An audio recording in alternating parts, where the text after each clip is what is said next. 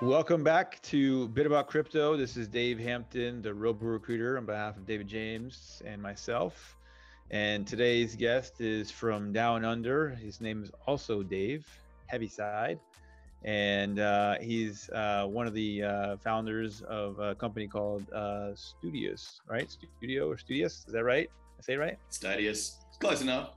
Stadius. Stadius. I, I knew I was in the ballpark, so forgive me for that. Stadius and uh, and so you know uh, they're they're doing some very interesting things. But before we get into that, I wanted to uh, just you know tell us about yourself, Dave. How did you go? Tell us about like kind of how you grew up, you know, and and kind of you know let's get into the part about where you got from from point A all the way to point Z at Stadius, man. So how did that? Tell me, you know, start there. Yeah, sure. Um, so I grew up in a in a town called Adelaide, uh, in in South Australia, which is a state in the south of south of Australia, as the name suggests. Um, and from quite early on, uh, my passion was sport. So I always wanted to be, um, you know, playing some sort of professional sport when I was older, and, and cricket became sort of the, the, the game that I chose for, for the American listeners. that's pretty much the Australian version of baseball. Um, Correct. To give I, am I'm, I'm well aware of cricket. Context. I've never played it, but I but I, I mean, I haven't been in Afghanistan. I was I quite I saw a lot of a lot of cricket on TV. That's what was being was playing there. So there you so, go. Right. So um, yeah, so I, I grew up um, chasing that dream of, of becoming a professional cricketer and um, played at a pretty high level. Uh, you know, for, for my club and um, was sort of trying to crack crack into the into the big leagues of, of, of cricket and went overseas, uh, played in England for a couple of years um, at club level over there as well, and um, yeah, it was it was sort of just out of reach for me. Um, and when I uh, when I got back to Australia after a stint in in England, I um, sort of said, well, I need a, I need a bit of a backup plan here. This isn't going as well as I, I had hoped. And, so, um, okay, so so how so how old were you when you went off to England to try to pursue a, a pro career in, in cricket? How, how, yeah, I was probably about uh, 20, 21, something around there. Okay. Um, this was 2004, um, 2004, 2005. So yeah, I was about 20 or 21. Um, and then I started uh, when I came back to Australia in sort of late 2005. Um, I was like, well, look, I'm, I potentially need a backup. Um, you know, this was at the time where the Australian team was just chock full of absolute superstars, and and getting a look into that setup was really, really difficult for for someone on the cusp like myself. Um, and so I there was a design course. So I, as a kid, I was always creative as well. So I was in bands and always drawing. And so I always had this creative side of myself that um, I could tap into. And um, I actually, before I, I, went to England, I, out of high school, I actually tried to study uh, industrial design and to follow my dream of designing cars and planes and uh, boats uh, for a living because I thought that was uh, pretty pretty amazing. And um, so, so brawn quite... and the brains, huh? You got some brawn. Well, yeah. Are you are you are you a big are you a big guy? You're like a tall guy. You're like like above like six two, six three, or yeah, six two, 190, 192 centimeters. Okay. Um, so what that was best six two, six three in the in the scale. But um, yeah, so I had athletically like I was always doing something. Um, you know, I was playing football, cricket, any sport I could play, I played. So I was yeah. just a really active kid, and um, I just remember just always just being completely uh, never at rest. I was always doing something. Um, so I never had. Did, you, did you, have uh, brothers? Did you have brothers or sisters at Roughhouse with, or like play sports with you or anything, or like? To, yeah, what, I was the eldest. big family. Yeah, I was the eldest of three, um, three boys. So the, I had my two younger brothers that weren't too far okay. away from me, um, but they both ended up being bigger than me. So it made for some interesting times on the uh, on the home court. We had a basketball court. Teenage, teenage years, right? When you like you, you went from posting up to like, hey, I'll shoot outside. I'll shoot outside. Pretty much, yeah. My uh, my youngest brother actually became quite a good basketballer, and um, and my the, the middle brother Sam, he became quite a good AFL player. So we we all had our kind of directions that we were moving in um, in sport, but it was really competitive from a really young age. Most of the time, when they were younger than me, it was two versus one. So um, I definitely have. We, have had those challenges all the way through, but it always awesome. pushed us to be better. So we, we just played endless amounts of backyard cricket, um, basketball, uh, you know, kicking the footy to each other, and um, so it was always sort of doing something. And surfing was a big part of that. Living um, living in Australia, there's always the exposure to surfing from a very young age as well, and we were we were quite fortunate to, um, you know, our, our, parents would take us down to the local beach, and we had a beach house down there that we would we would visit each summer and spend a lot of time just um, bodyboarding and and uh, that sort of down south. So, you know, when we weren't on the basketball court or on the cricket field, we were uh, packing the boards in the back of the car and heading down to Victor Harbor, and we we just loved that sort of outdoor lifestyle. And but at the same time, it was interesting because we were also really we loved our tech. Like we, I remember the first time yeah. we got a Nintendo, Nintendo for Christmas. It was yeah. like we just ran around the house like lunatics. It was, uh, you know, and from then on, it was yeah. like Mario and uh, uh, James Bond, and our cousins would have a Sega, so that was awesome because we'd go play like yeah. Sonic. And, I remember Sega. Uh, yeah, yeah. And my friends had Sega, like they had the Sega, we had Nintendo. There was like, you know, someone had to have like at some point someone got the Xbox, right? Later on, you know.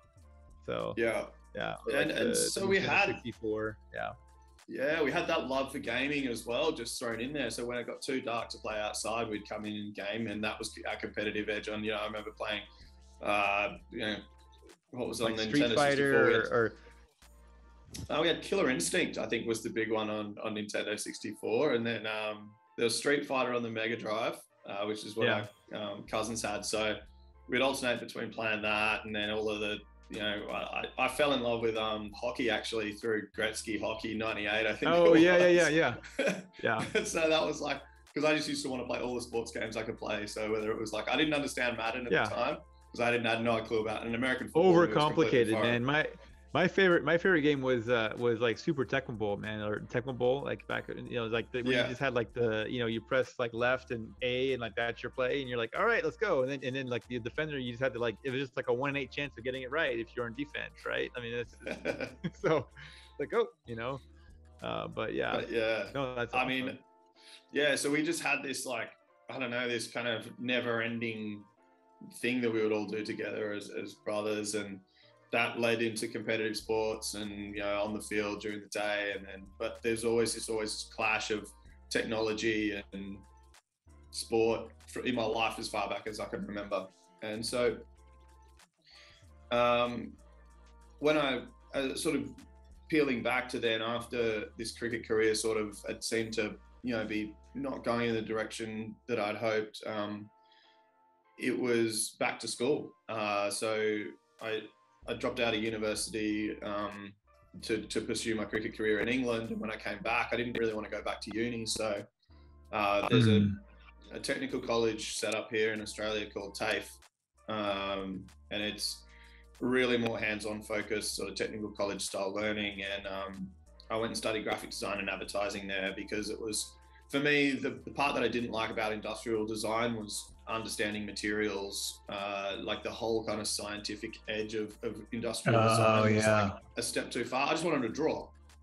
I didn't care yeah. what it was built out of. Like I didn't know what yeah. I didn't want to stress test this thing. Yeah, you, yeah, you have to know like okay, if you're gonna put it here, yeah, that, I can see. Yeah, that, that's yeah, uh, I get that. And so there was a period in second year where we started studying like uh, material dynamics and like all of this sort of stuff, and I was just like, nah, I'm out. And so, anyway, I came back, studied, no. um, studied graphic design because it was just that component of industrial design without all of the rest of the science and stuff. So I love that. I um I studied that for four years, completed an advanced diploma in advertising graphic design. I completely fell in love with the world of uh, uh, uh you know media and design and and what um, that could do. And um, being that at that time was about 2000 and as I said, 2005, 2006, physical magazines were still a thing, right? So you would like we would always collect magazines as kids, whether it was gaming magazines, sport mags, what you name it. Like magazines where that's how you consume media. Um, there right. was no, there was this kind of half YouTube, not really. There was sort of, there was no social media. There was, um, yeah, there wasn't.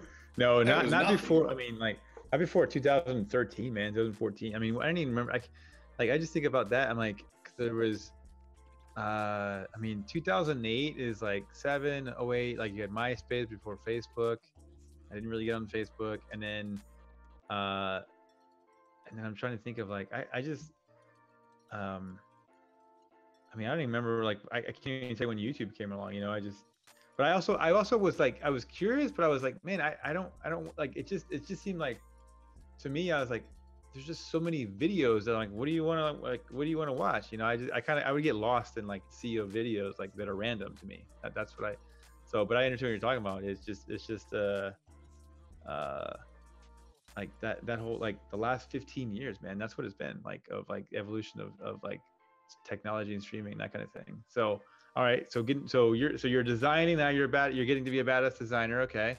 So yeah um, and then one of the I was a subscriber to a couple of surfing magazines, and one of those was Bodyboard magazine uh, called Riptide, which I just loved the design of. Like whoever was designing that magazine, I thought they were amazing. All of the spreads just looked at awesome. They always had different kind of funky graphics going on and cool titles, and the way they laid out the photos yeah. and like jammed it all together. Like the, the entire magazine was amazing. And um, towards the end of my my design course. Uh, we were sort of prompted to sort of reach out for work experience and try and sort of put ourselves out into the real world, so to speak, to sort of kick ourselves off job wise. And I was still playing cricket pretty at a pretty high level during this phase. So it was never really on my mind to try and go hard at it. I just always wanted to back up. And I was sort of at that by that stage, I was 25, 26. Uh, and so I was still competing really, really hard to try and crack it. And um, but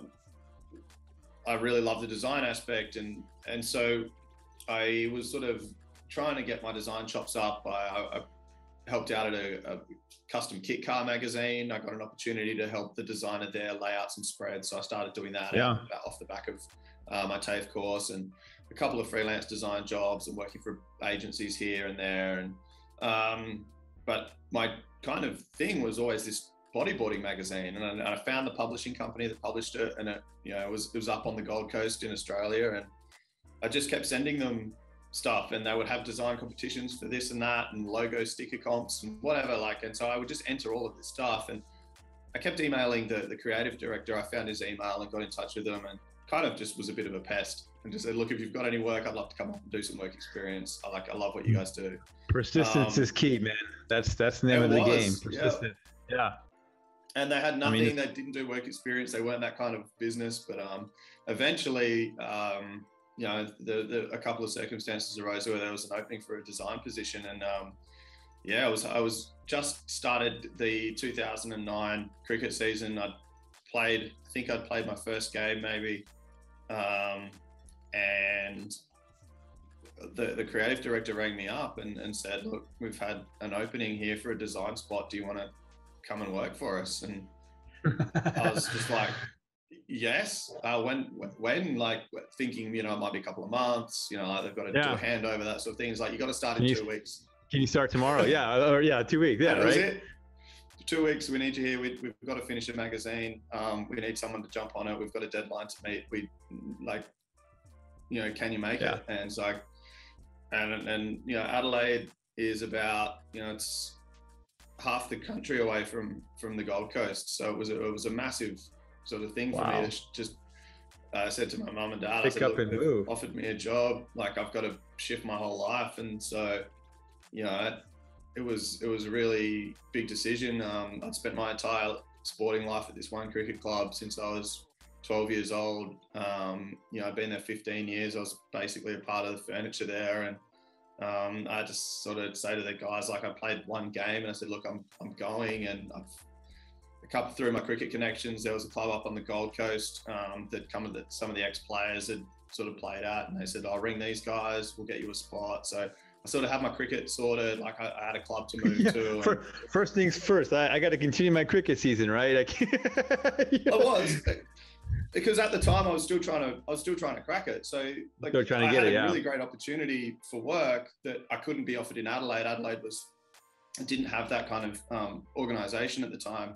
Um, yeah. but the Gold Coast did, and it offered this amazing lifestyle that all that, that came with it all, and and plus there was a cricket team there that was highly successful, and so uh, it t- ticked all yeah. the boxes, and um, so I just moved, and then I, I remember driving up with my, I was trying to find accommodation like in the car on the way up with my dad. Like we just packed my car and he he came with me for the drive because it was a two day drive, so it's about 17, wow. 18 hours um, across across uh, Australia, and yeah, we, we we we just headed off. And I remember the first night up there it was, um, I, I my, I sort of found some house. I found a found a room in a house with four other people, and they weren't there. And they just said, "Look, here's the key. Your room's down the hall." Like in this text message, and I'm like, "All right, well, it looks like I'm. This is me. I'm here now." So yeah, you're here. Um, I yeah, I went. I rocked up to the work on the like that was on the Sunday. I set foot in the office on a Monday, and it was really really funny because I remember wearing uh, like a button-up shirt and slacks and just looking the part as a would designer would in Adelaide, you know, in this sort of semi-professional setting. And they're like, "What are you? Why, why, are you dressed like that?" Board shorts, singlets, wetsuits out the window. Like it was a different world, and this place yeah. was buzzing. Um, it was unbelievable to step into a, an organization like Morrison Media was at the time. They had 15 different titles across seven different action sports, like everything from motocross to skateboarding, surfing, uh, yeah. BMX, snowboard, you name it, they published it. And it was just this hive of activity. Literally, it was like a converted massive um, squash courts that had been converted into offices. And there was just, it was just a rabbit warren of activity. And um, wow I just was like, wow, now I'm I'm in it. And I remember shaking hands with with this guy who I'd sort of only just briefly sort of done like uh, I think Skype was the one at the time. It was Skype, Skype was with. it, man. Yeah. So this is and so this is 09, right? This is like this is 09, yeah. Yeah. So even if like remember to connect like it, like you didn't have texting wasn't very like popular either. You had like you know a like remember instant messenger? You had that right? As a as an app on your computer and then skype was it was the other part of it if you didn't, if you didn't have a phone. Yeah that's crazy. Yeah so i remember just sitting down he's like there's your desk here's the publishing schedule here's where we're up to you've got to finish this and i was just like all right like just the deep Let's end was it. it was as deep as it gets so yeah. I don't know i learned to swim pretty quick and we got the magazine published and um, then it was on to the next one. And that cycle of publishing was intense. It was really fast. It got my design chops up really, really quickly because you were meeting a deadline every month for these magazines. Um, so you would finish one and then bang, like straight onto another one. And then quite often you were working between two magazines at the same time. So you would be on two week design cycles and you would be doing 120 pages in two weeks, fully polished, ready wow. to go to the printer uh, proofread like the whole box and like this operation was insane. And um, I hadn't worked in newspapers, but news the newspaper uh, world was pretty crazy, but magazines was another level. Um, and so it was just exciting times.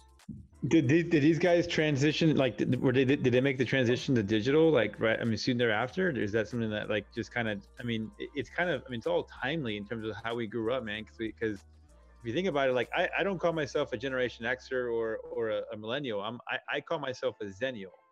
You know, and what what to me what a Zennial is maybe you, you'll you'll jive with this because what a Zennial to me is like someone like who's it's not like it's not like I grew up with technology in my hand, but as I got older, as we progressed, I mean, if you think about like when we were, I mean, you and I are about the same age. Like in fourth grade, you have like I remember as a fourth grader, like using a typewriter. I don't know if you remember using a typewriter or not, but I was, I was in fourth grade using a typewriter, and all of a sudden you had these computers, and you could just type, and all of a sudden you could hit the delete button, and it would go on the screen. You're like, oh, this is great, right? And then you, and so you have that all, uh, you have a word processor all the way. It's like typing up. I mean, and then you get to like high school, and then I remember like just thinking like, okay, now I got to save my paper, and you have these three and a half inch discs, and then you have that until like college, and and I know it's like one part of technology, but like then in college the great thing was like the USB, right? Or it, first it was zip disk, right? Zip disk, you could take all these three and a half and you put them on zip disk, and then and then and then the zip disk got replaced by the USB, and and because like the, the, those those discs were like corruptible, man. They're like you put it you put it in for a paper in college, and all of a sudden you can't read this disc. I'm like, oh, and you have to like retype it up.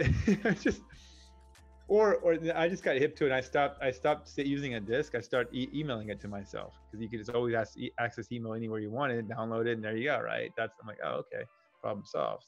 Right? But then, but then as you talk about like the early 2000s, and I don't know about you, man, but I I didn't get a phone uh, nor did I ever think I would ever use a phone like I use a computer, like a mini computer. Uh, I was I got a phone just so I could call my parents just in case I was like in a in a bind or something. You know, that was really what I used it for, or like to call my friends and be like, hey, you want to meet up here? Yeah, okay, boom, like that was that, right? It wasn't like this same thing in like when I lived in New York, I wasn't using it for anything else besides just calling people. Like I wasn't, you know, and and then you get so you now now you're at this point where uh I mean you you guys are doing like cool stuff with the with the with the publishing and that that and then like this digital that's just kind of coming like this Adobe. I'm guessing it's like Adobe Pro, right? Like the that's like that's like the software that people use, like if you're like in design and that kind of thing, right? So tell me, I mean, let's let's get into like how you got from there to to like to Stadius, man. Yeah, so um maybe a year or two in, I remember um, and this was just out of the GFC, remember? So like 2008, like it was in like I was starting yeah. working in an insane period of time. Um, yeah.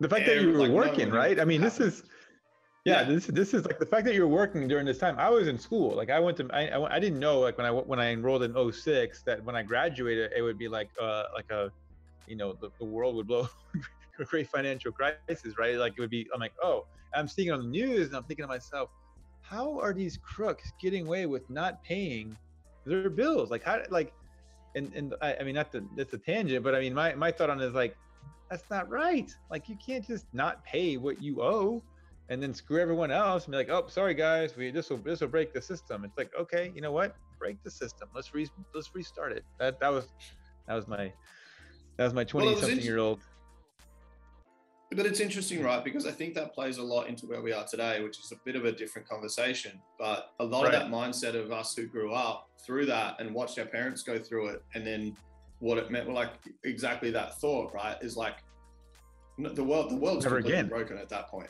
Yeah. So yeah. that stuck with us, and and you're right. Like we are the same age, and I remember that sticking with me too, because I think a lot of us a lot of the younger folks had, had that same thought of like we've been told this one thing our entire lives like right. 15 years of schooling and then coming out and then into college and you just kind of like get like programmed to think a certain yeah you way. get a job you go work it you you know right. get your 401k retirement work there for 30 years that kind of thing right and like and then mm. and then these guys just blow it all up right so sorry you know right and it, so so the, it put us it, and we were young enough to then not fear the unknown in the sense that we still had, had that sort of um you know that mindset of just being like invincible, right? So we're like, well, fuck this. We're just going to break the system. Like, if you're going to break it, as you said, like, let's just break it and start again because yeah, we'll build it better. So I think right. that, that kind of like that that set the real that really set a tone for this kind of what was to come. And obviously, the the, the light paper was you know Bitcoin light paper was published at that time, and then yeah, it, it oh eight, yeah, oh nine, right, right. So yeah. it, it did have this huge effect on particularly our generation and and, and, and sort of people our age. Um, and so, and, and, and as it was happening, all of this other shift in terms of like media and culture and publishing was happening when you sort of was when you saw the rise of like um, Instagram and YouTube, and it took mm-hmm. over publishing on a whole and just turned media in on itself which had never right. been done before. And sitting there in a publishing industry, and I remember really clearly, like um, the the boss of the publishing house was like, "Well, look, there's big changes coming. There's all of this stuff happening. How are we going to deal with it as a publishing company?" And um, so we we had some pretty forward thinkers in the organization, and um, a couple of us got together and we decided that you know we would really look at the the iPad and digital publishing and, and how we would, you know, potentially do something there to use the um, benefits mm-hmm. of digital distribution across international, you know, lines where we didn't have to print something physically, but we could distribute the same thing digitally. Now, we we were actually one of the first organizations in Australia, and if not the world, to actually publish a digital magazine in sports on an iPad uh, which was the first issue I think of of Riptide, which I did. We did as sort of like a little test. As, and so as an we, app or, or or as a yeah. as an app? Oh, yeah. Cool. So That's we awesome. worked we worked really closely with Adobe when they were building their digital publishing suite really early on. And we sort of were in tandem with them, like they were building stuff and we would use it and then we would working out the kinks, and they would iterate it. And uh, we were on this kind of process together with them, which was really cool. And um, I remember the first time we were, we had, we kind of created our, our own publishing, new publishing kind of, um, uh, what would you call it, strategy around how we would do physical magazines and then turn them into the digital and then publish them on the iPad and then put them on the App Store. Yeah. And like we built it so so we experimented quite heavily with it just because we could as a and we could get away with it because we were you know in the action sports industry. Like no one really came at us with any kind of lens. It was just always always experimentation. So it was yeah. really really cool. But it enabled us to sort of see what was going on early doors. And i think we were the same time social media was coming on we were one of the first sort of um, you know kind of publishing industries in terms of that action sports space to re- really embrace what Instagram could do for us, what Facebook could do. So we built huge Facebook audiences, we built huge Instagram audiences. I remember starting the Instagram account for Riptide, and we built that to 100,000 users, like in the early days, and we built Facebook to over 200,000 users, and this was unheard of wow. for like a tiny little sports brand back in yeah. 2009, 2010. Yeah. Um, but it really helped and, and, it carried us through to probably 2013 and uh, at the time the you know and, and, that was just an incredible sort of um, time to watch digital media shift and really come yeah. to just crash print media because all of a sudden you didn't need it anymore you could just do have a youtube channel an instagram channel uh, and a facebook thing and you, you could kind of all of your audience that you wanted from that 15 to 35 demographic would just be there and it would be global and you would be but the, the problem was is that advertisers had no idea how to use it so yeah. publishers got it advertisers right. never understood it and then the whole thing fell apart because what would what ended up happening was is that the, all the advertisers thought well like why do we need to go through a central publishing when we can just build our own audiences we don't need to go through a magazine title. Yeah, they start we they start thinking the con- content is king. We can manage the content. We don't need you guys, right? It's like that kind yeah. of thing. And it killed probably the surfing industry from what it was in its height. It killed the bodyboard industry definitely. Uh, it had a massive effect on skateboarding until Nike came in at a later date around 2014 15 with Street League and yeah. a whole bunch of other stuff. And that only just got back, but it pretty much killed action sports through. If you think of what action sports was pre 2010, yeah, it was getting the latest between... thrasher, man. Like as a skateboarder, it was like getting the latest thrasher, like seeing what you know, getting like there were videos that came with that, right? Like it was just like, yeah, I it was that. Huge. X Games yeah. between '95 and 2005 was the biggest thing in the world. Like, yeah, it was because the it was done in such a professional and great way, but still super organic because it was made by the athletes for the athletes, and it was right. that, that was the that was the nexus of it. It wasn't about advertisers trying to sell you products. That right. the, the, separation in, in publishing between church and state meant that you could have editorial and advertising live together in the same package and it would be meaningful to the consumer to the right. fan and without it being overwhelming with all the ads and stuff. Like you like i mean the, the, content just simply went away when the ad it's like all it became all about the money. How are we gonna make money? How are we gonna make money? Well we don't need you guys. We can make our own money right? That it's just yeah. And everything became one giant ad and it pissed everybody off yeah. because you couldn't you couldn't they were they, no one was creating content without there being some angle and like that's right. what the difference was all of a sudden to every piece of content you consumed in the sport world for a period of 10 years, particularly in action sports, there was always an angle from a because it was Red Bull or it was somebody and oh, it was yeah. just owned content. And it worked for Red Bull. They did it really well because they just had the biggest budget to throw at it. But for yeah. everybody else, it was just yeah. like it, everyone saw through it. Everyone saw through the the pitch. Um, and it was a really sad thing to watch like your own sports that you love and you grew up on and the magazines that you really held dear to you because they were your gateway to this amazing world and you would have athlete profiles and trips and this and uh, to watch yeah. that get eroded from this idea that they didn't need you anymore and they could do that themselves Um, yeah. ultimately, you knew that that was going to fail. Was was really hard to have that conversation. So, um, I mean, we're, we're see, sort of seeing it change a little bit now because you know these cycles will continue. But um, yeah, I think it was one of those just weird. It was just an incredible time to live through it, to particularly to work through and be on the inside of watching how media shifted so dramatically.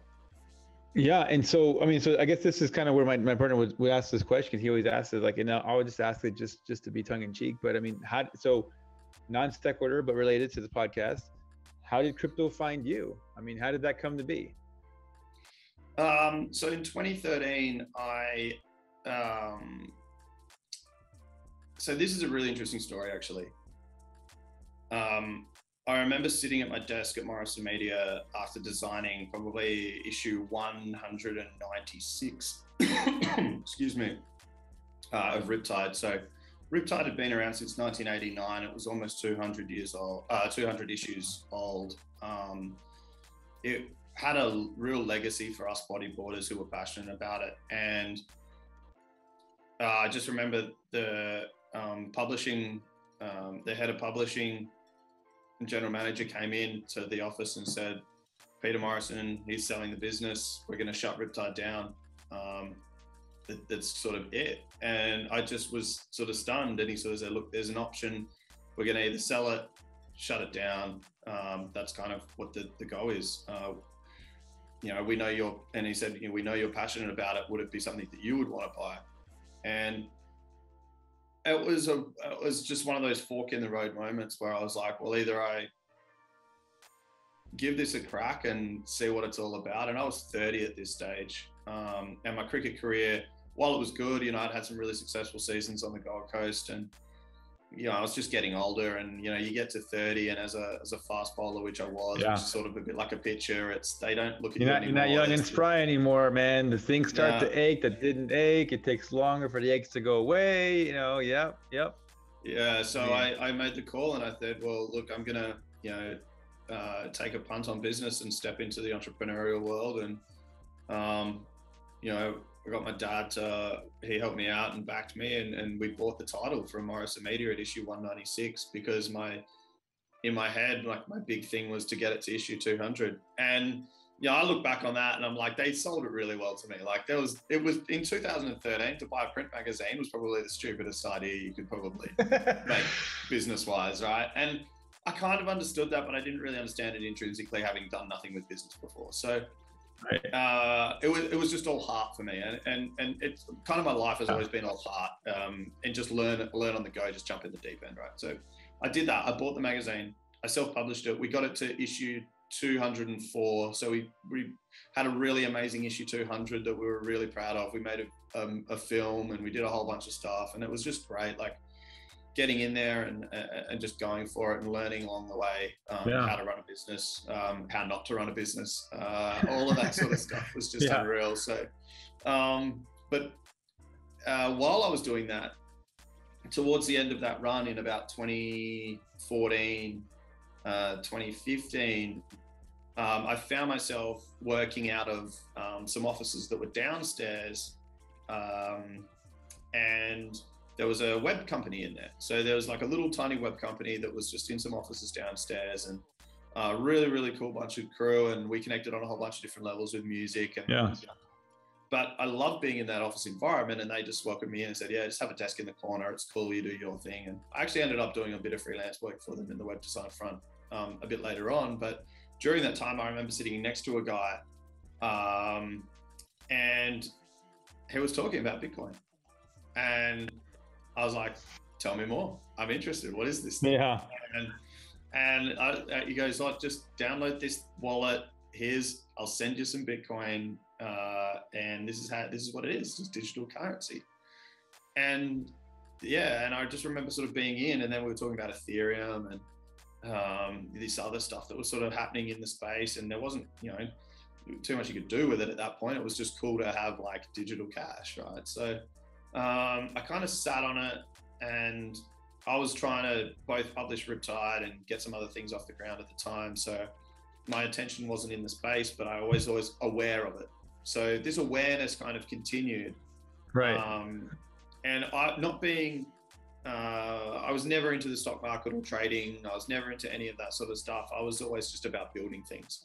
And so I didn't have the lens of like what you could do with it from a DeFi perspective or anything going back, you know, sort of when it, when all that stuff was kicking off. But what I did do was just look at, just continually like sort of check in on the space and I watched the big pump and then the big dump in 2017. And then I was like, oh, okay, this could be something. And then you know, a couple of mates of mine were still hovering around doing little bits and pieces in the space, and we also sort of like had a little bit of uh, crypto sitting there. And in that time, I ended up basically closing the magazine down because social media social media had just kind of crushed publishing. The bodyboard industry itself went through a massive um, upheaval with a couple of big, right. um, a couple of big uh, suppliers going under, um, and it basically just stripped the sport of any kind of uh, advertising liquidity. So it really sent Riptide to the wall at that point. Um, mm. And so I then started going back to my design um, uh, design roots and then doing f- freelance designing. Worked at a web company, did bits and pieces there, just filling the gaps as I was sort of navigating how to um, exit out of the magazine and, and sell that for parts. Um, I held on to it for a little while, thinking I could do something with it, but ultimately my life. Did you ever think about that. doing like NFTs with it, like like NFT ver- like versions of the old ones? I'm sure I'm sure that came across your mind where you're like, hey, we got these. Yep. You know, I mean, sure that is that something. It, it definitely did, and uh, I explored that a lot with the old stuff. The the ultimate uh, block blocker in that space for the old stuff was the IP around the images. So. Uh when gotcha. when we bought the images to publish them, they were bought under a very specific license that said we are buying this particular image for the this size in this page on that in this magazine, and so really to go and repurpose them for digital or repurpose them for NFTs, even the old mags, the old covers, everything that was cool about what we had built, we'd have to go and renegotiate all of that with all of the old oh, wow. photographers. Too, and it was, yeah, too cost ineffective. It would be cost too much. Yeah. It's, yeah. I so, mean, at that point, at that point, you're asking yourself, is is, is a nostalgia worth worth the cost, right? And the answer was simply no. Yeah. Yeah. So um, in the end, um, I, I, ended up selling the title, and, and I sort of um, had come to terms with that and, and, sort of made my peace with the fact that I'd gone on that journey and, and learned a hell of a lot. And then um, it, in the meantime, I was lucky enough to meet a couple of guys who had started a marketing agency. Uh, and this was about 2017, 2018, uh, called Make um, here on the Gold Coast. And I just started doing some um, contract work for them. And and Make as a as a business was uh, an experiential marketing agency. So I did a lot of brand mm-hmm. experience work for the major alcohol brands up here in Queensland, being XXXX uh, is, is, probably the big beer brand that people might know. Um, and basically, the, the agency's job was to um, take uh, you know that brand and then activate it at a major event on behalf of the brand. So whether it was a uh, a, football game at the local stadium through to um, you know, a, a, a, horse racing event, like any kind of major yeah. event where these co- companies would have sponsorship involved and they wanted to activate the brand at that event, we would come in and we would build infrastructure like uh, container bars and we would do signage and we would put yeah. on the, you know, make sure that the whole event works smoothly for them. So um, it, it, was it was a great time to be doing that because uh, you know beer brands have they've got quite big budgets in Australia to do quite extravagant marketing exercises. Yeah. Um, and so there was there was a lot of fun things to sort of sink my teeth into. Uh, it was a little different because I wasn't designing new assets anymore. I was working with existing assets from the brand, but just applying them in different ways to create new experiences. But ultimately, right. it, it, that's how I found myself in this world of like um, sponsorship and, and, and, brand partnerships and brand experience. Um, and so, what? But then there was always this kind of like underlying technology thing that I was always interested in, right? Bubbling away under the surface. And brands didn't do tech very well, and they still don't, to be honest. Some brands do, some brands get it. But for the majority, brand marketing here in Australia from big brands in the alcohol gambling space hasn't changed a hell of a lot. Uh, mm-hmm. Gambling does it better, but yeah, beer's very still much you know, put a whole bunch of signage around the stadium and just hope for the best. So, yeah. Well, I mean, um, it's like it's kind of. I mean, what do you? I, it's it's an interesting question to pose in terms of like, okay, hey, don't drink that beer, drink my beer. Like, you know, like, I mean, the reason why people drink Michelob is because it's only got 95 calories, right? It's only got three carbs of uh, three carbs, right? So it's it's the you know, it's the light beer. You don't want to gain get get the beer belly. Drink Michelob, right? Still get drunk, but get drink. That that that's what they're saying, right? I mean, I'm not a beer guy, so I don't really care for one or the other. But uh, it's like it's just. But I mean, I, have always it, it's it's an interesting question because I'm like, yeah, I mean, if you if you said, hey, I want you to take all these beer brands, and I want you to market them and make people come to you, I'd be like, yeah, no, that's okay. I mean, I'd, be like, which which the best tasting one? And I'd be like, here, hey, do you want you want a good tasting beer or you want a bad tasting beer? All these taste bad, right? But then that's subjective too. I don't know, man. It's just so just my yeah, I, my two cents. That's that's pretty much it, right? So there was just this kind of standard way that beer brands would try and differentiate themselves from each other, which was, you know, you mentioned a couple of them there, whether it's just we've got less calories or we've got better taste or you know so it's all very much like the same thing repackaged into a new product and sold again yeah. so yeah um yeah the, the the innovation within the industry itself in terms of the marketing it, it wasn't you know really evident um and they really had done a poor job of really engaging social very well. Like there was not mm-hmm. really any like they had social media teams, but they just didn't hadn't figured out how to really do social well. So there's a whole sort of bunch of stuff that was kind of ripe for disruption within that that industry. And um, you know, up until 2019, that was a great place to be, and there was lots of opportunity, and we were doing some great work, and um, you know, I, I, sort of moved on from being just a contractor to being graphic designer, and then eventually promoted into um, creative director, which was great. So I yeah. started to lead some of these campaigns from a creative direction perspective, and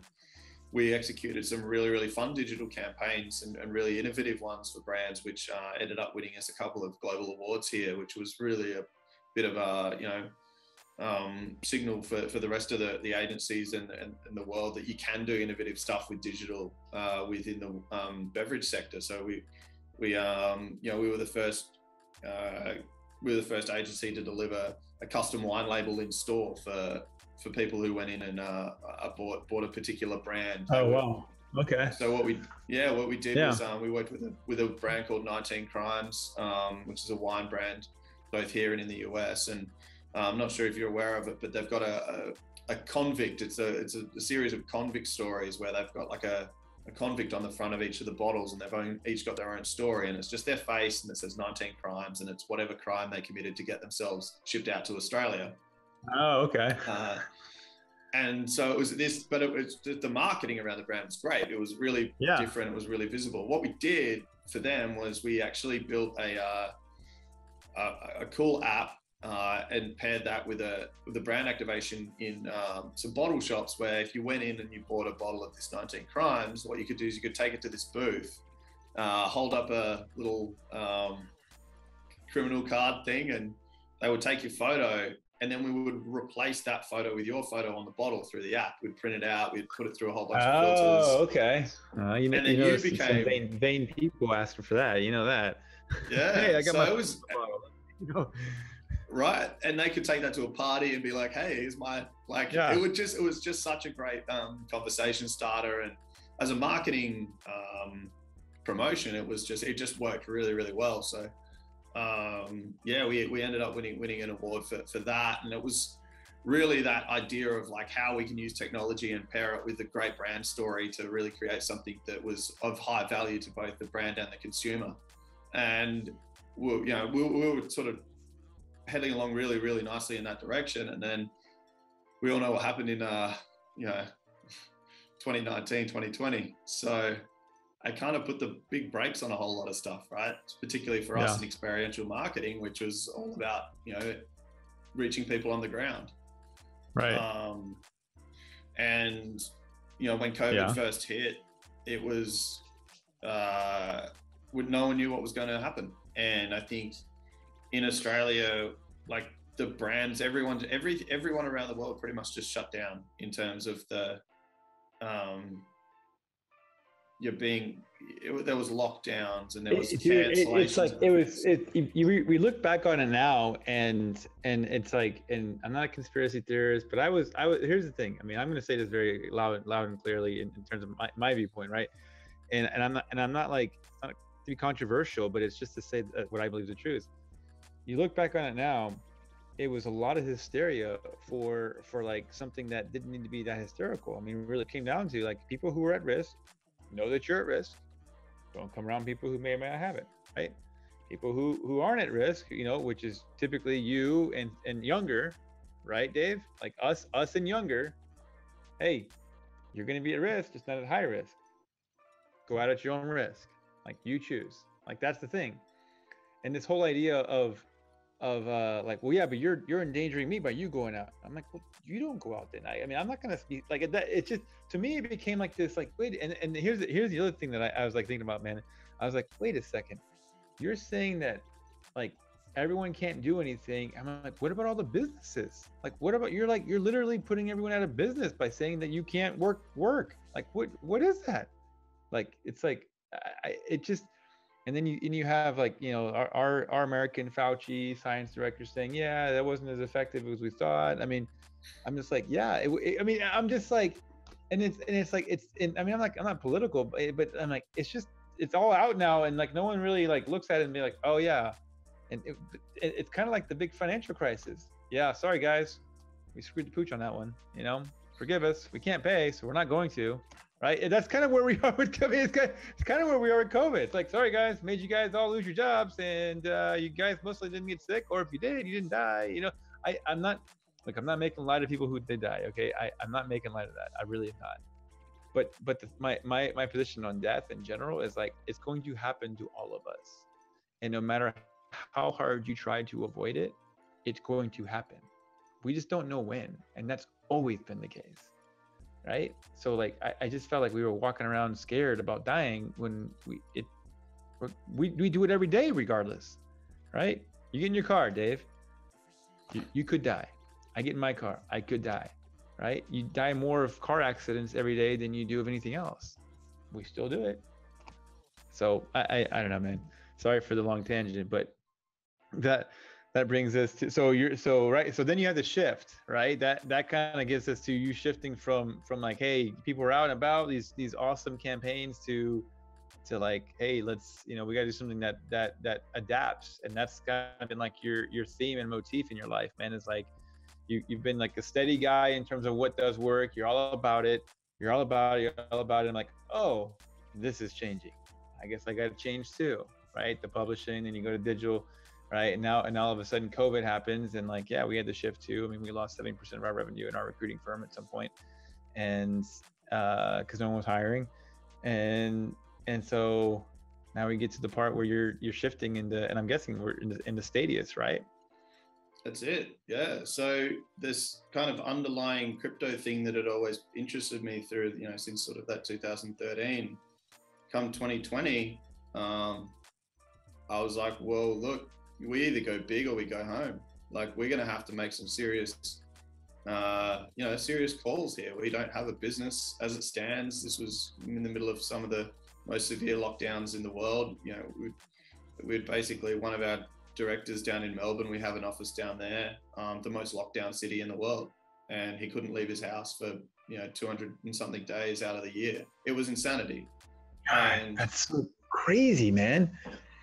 It was. It yeah. was and we we and uh, like I said to the guys, like, look, it was really interesting because you know, the, obviously the stimulus cash, people who got it were just couldn't do anything with it except spend it online, pretty much. And you saw what happened, I think, with like, you know, just everyone was just kind of caught in this thing of like, well, we'll spend all our time at home and we'll just jump online and see what's going on, and then you know NFTs happened and then DeFi happens and then all the yeah. or sorry DeFi happens then NFTs happen and then like this kind of crypto world just for the people who were aware of it all of a sudden was the place to play because yeah. you knew about it right? You were aware you were kind of primed. So when it popped off you weren't exactly surprised. You were kind of like it, oh well I've been waiting for this for like years. Like of course it was yeah and and that, and that's kind of like if you think about it, Dave. Like if you uh, uh, like it's like if you think about like the last thirty years, that iteration of like technology like evolving or like kind of getting us through the the. If you think about it, like right, you have you have the internet. You know, Bill Gates talking about it on uh, with David Letterman back in '95. That video that circulates, right? You have that going on, right? So you know, what is the internet, right? Then you fast forward through like the mid uh, like to 2008, 2010, when the financial crisis is going, but who's flourishing? Tech companies, right? Like, and then and then you get to the part, and then you get the COVID, right? And and like, who's who's flourishing?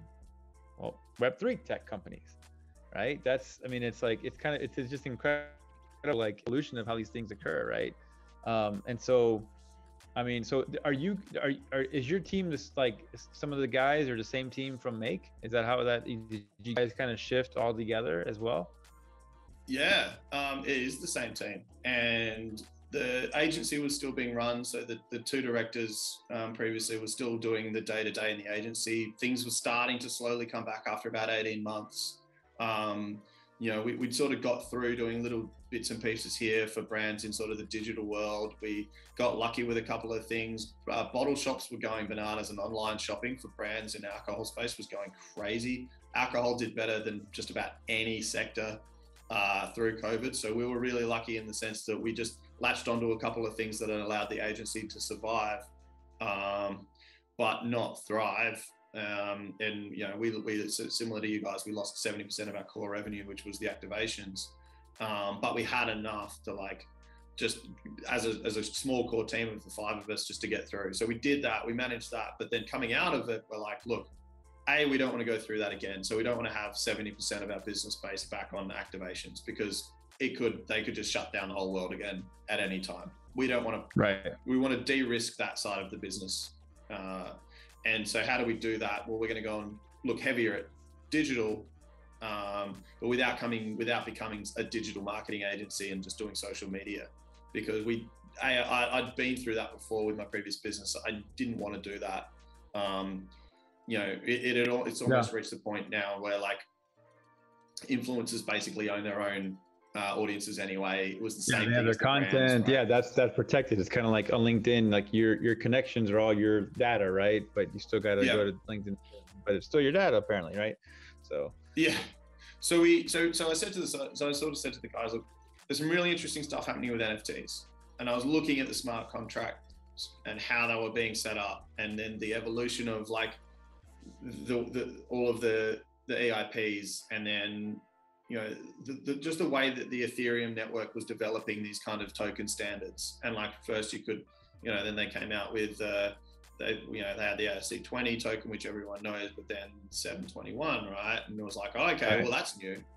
Like, that's something different. That's not you. You own your own individualized digital token. Okay. Yep. And then the 1155, which was the right, the, you know, the, the bridge between both of those worlds. And all of a sudden, like you could see like the amount of um, innovation that was going on just within that token space. And then I was like, well, hang on a second. Basically, brands have this real problem with being able to create liquidity out of liquid assets, which is essentially the stock that they hold. So all the beers, right? They've got a warehouse full of ton of like thousands and thousands of beers. Right how do they get those beers into the hands of the consumer? Well, they go through bottle shops and pubs and they do yeah, distribution. They got to pay a heavy, handsome price for distribution, right? They got to pay someone a middleman, right? That's right. Yeah, and then once and then once that's done, uh, you know, there's all this promotion, and this that's where our business stepped in. So we would step in to promote the brand, to promote the product, to try and and, and a lot of it was to do with beer giveaways and just trial. It's like, here, try this beer. You would go everywhere you go, you get free beer from some brand that was giving it away, right? Free drinks of this, free drink of that. Because it was always about trying to be the first drink on someone's uh, table when they went anywhere. And so there's a really cool metric, which is 80% of the time, you'll reorder the same drink that you had first. So if you go into a bar and, and grab a beer, there's an 80% chance you'll reorder that same beer for your second drink and your third. Yeah, I mean, I, I, I can see that. Right, because because you don't want to like think about what you want to order, and it, they already know what you ordered the first time. So it just it, like it's all about convenience at some point, right? In terms of that, right. like you, you, start. And so really, I mean, if you think about it, like I mean, not to jump on your your marketing like uh, you know genius, but it's like you really just want to make it easier for someone to like what is the easiest route for someone to keep getting this product is the way I would think about it. Okay. Yep. And then and then from there you just kind of design it so that that product is the one first bought so that you can get the, you know just continuation. So it's easy. Like just boom, boom. That's that's the consistency that you're trying to market essentially. Right? Right. I'm guessing. And so exactly that, right? And so that's why brands spend so much money on, you know, sponsoring teams and leagues because they hope that what happens is, and this is the area that we specialized in as an agency and, and where I started to put two and two together about what digitization of assets meant, true ownership of those assets, and then the ability to move them around, creating liquidity out of illiquid assets, right? Was that in particularly in Australia, and it's not so much prevalent in the US, although it is a little bit different and in the UK, is that brands would sponsor stadiums to get the pourage rights at that stadium. So the only beer that would be served at this particular stadium would be beer X, and we'll use XXXX for example. So XXXX would pay, and in Queensland we've got two major stadiums, which is the Gabba, um, which is our big AFL and cricket stadium, and then Suncorp Stadium, which is the rugby stadium. And our XXXX being Queensland Beer sponsors both of those stadiums for a hefty price, mind you. They don't get it for free, but they pour a lot of money into basically ensuring that they they're the only product sold within that stadium. Uh, but what they can't control is what happens when people leave that stadium. Now, what I what we saw as a as a, a, the opportunity for the business and to do with Web three was basically taking a captured audience, being able to deliver them a token which they could then take outside that ecosystem and then use at any one of their venues post match uh, and then potentially keep in their wallet and or transfer to a friend or family to be able to use. And what that would do was ensure that whatever money was spent by the brand on on getting those people to uh, drink whatever product it was in the stadium could be then tracked, traced, and leveraged outside of that ecosystem, delivering incredible value back to the brand. And all right. of a sudden, you through tokenization, you had this mechanism by which to do that, which was never previously available. You couldn't do it with yeah. coupons. You can't do it with like paper yeah. things. You can't like. So this technology I saw was going to absolutely shift the entire way that brands would start to engage with consumers because then they could have incredible visibility and data around where their products went. They could see who was redeeming it at what bar when it was being redeemed. Yeah. They could understand what consumer ended up with the token if someone didn't want it and wanted to, to move it on. So, like, that in itself is, was really, really valuable to the brands, but it also gave the consumer a lot of power, right? Because if you don't want a particular drink, like you're not a beer drinker, I'm a beer drinker. If I have a whiskey token and you have a beer token, it yeah. doesn't matter where we are in the world. You we can, yeah, exchange those. Yeah, definitely. Yeah. So then all of a sudden you've got an entire new set of value that you've just created out of thin air by making those illiquid assets liquid and that's it. And that was the start of Stadius for us. And like now we've wow. been, it was like this journey we've been on to try and uh, get everyone to understand basically what Web3 is and what NFTs are, which is a whole nother conversation because you walk into some of these rooms and you know, it's like talking to a brick wall. Yeah, well, sure I mean, it, that experience, right? It, it's it's utility, man. I mean, really, what it comes down to is like, I mean, no. Here's the thing, man. Like, I think I think sometimes, uh, like people get lost in the like, well th- this fork is happening or this this stuff is going on with this you know bridge and and and a lot of times it's like and that well that's cool for all the people who like who are building the stuff like literally building the you know the code behind it and everything. People like me you know i'll speak for myself i just want to know how i use it and how good it is you like eh, what does it do? How can i use it? Is it is it like effective like that's what i'm interested in. And then what, what you know mm-hmm. what am i going to get by investing? Like that that's really what i'm interested I, I, I don't really care how it's been built. I really i just care okay oh i can get a i can get a, a scotch from this? Sign me up. I'm in right? I can go anywhere? Yeah let's do it. You know that i don't it's like all the hard work you put i mean not not that it's not interesting to me but it's but i mean at the to, from the point that it got to where me to where i am i'm like as a customer i'm like yeah i don't really that's cool but but i mean all that other stuff is like yeah it just becomes it's all about utility at that point right? Which is what you've done. Mm-hmm. it's like that's it's genius. So so where are you guys right now man? Are you guys just are you guys killing it? Is is, is business good? How i mean like we'll we'll uh, wrap it up here, and then and then, you know, let everyone um, know how you can um, get. Yeah, I think like so. We're really we're, we're still pretty early, right? We, we we've got an MVP in the marketplace which we're testing and trialing, and that's just been incredible to watch. You know, in small closed ecosystems, you know, we're, we're doing really really close trials just to get people using our platform. I mean, this is all like we've been around for about 12 months as Stadius in, in yeah. terms of that. So, so we've, we've done a couple of trials where we've put some beers on, on chain and we've moved them around and redeemed them. And it's, it's, it's really cool. So what where we're at now is basically validation of concept into a seed round, which okay. we're going to launch pretty soon. We're going to raise the capital required to kind of solve these big, big problems around, you know, redemption's a huge one. So there's a lot of work to be done in terms of being able to use tokens at the point of purchase, whether it's through merchant terminals or POS systems. Um, basically, how you build payment rails around that, that's a ton of work.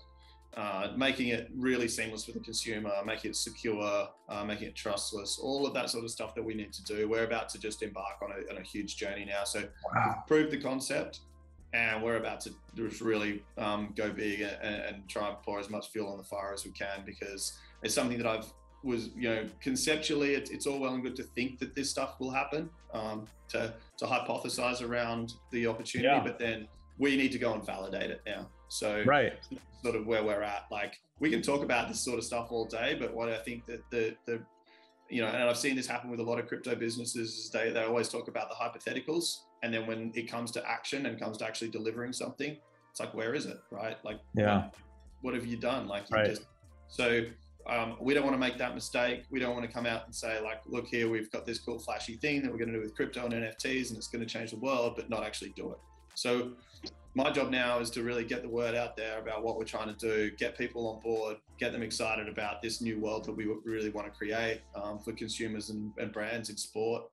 Um, but then also how that can be applied outside. You know, like it's not, we can't, it's not just can be used for, for beers, it can be used for anything that you want to take on chain, right? And any sort of uh, industry or vertical that, that has a similar problem around really kind of engaging engaging any one of their consumers uh, at any kind of level in, in, in a really personal way and being able to just drop rewards or drop incentives in to like get them to part of that ecosystem can be changed by technology like this so yeah um, yeah that's that's what we're doing um, we'll, we'll head into our seed round at the end of sort of uh, we'll t- start taking expressions of interest over the next couple of months. We'll probably head into it.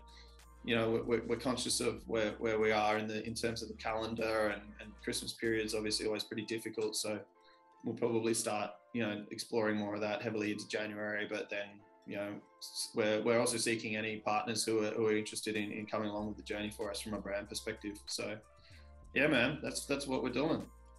Awesome. So how, how do people how do people find you? How do people find Stadius? Where do they get some some uh, some knowledge on, on if they want to get more information in terms of either being partners or, or customers?